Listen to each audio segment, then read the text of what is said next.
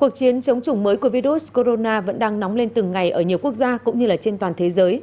Và trong cuộc chạy đua với thời gian ấy, có rất nhiều anh hùng thầm lặng, không nề hà đến công việc riêng tư hay sự an toàn của bản thân để cứu chữa cho những người bệnh.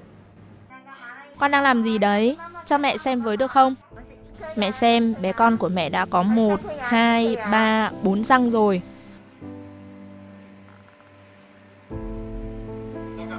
Nữ bác sĩ Yang Xiao đã một tuần liền chưa về nhà.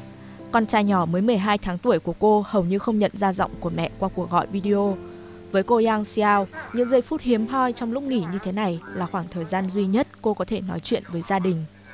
Còn với bác sĩ Giang Dinggu, năm 7 tuổi, những tháng ngày chiến đấu với virus corona cũng là những tháng ngày vị bác sĩ này phải chiến đấu với căn bệnh nan y sơ cứng teo cơ bên trái. Đôi chân suy yếu, có những lúc bước đi cũng khó khăn, nhưng ông Giang cùng hàng trăm đồng nghiệp vẫn lựa chọn ở lại tiền tuyến cứu chữa cho các bệnh nhân. Căn bệnh này giống như một thanh gươm lơ lửng trên đầu.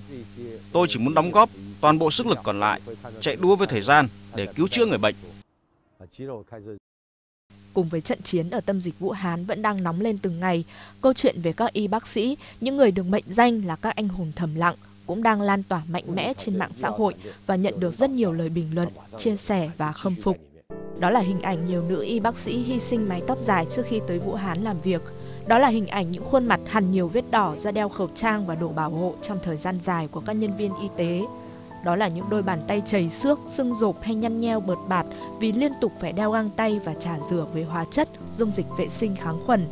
Hay lời hứa trở về sẽ kết hôn của anh Liu Yang Gao và bạn gái Kiao Bing trước khi lên đường tham gia chiến dịch cứu trợ các nạn nhân nCoV tại Hồ Bắc. Và có lẽ với rất nhiều y bác sĩ đang thầm lặng chiến đấu nơi tâm dịch, không gì có thể ấm áp hơn một lời chúc sinh nhật đến từ những người con của mình, dẫu rằng chỉ qua màn hình điện thoại.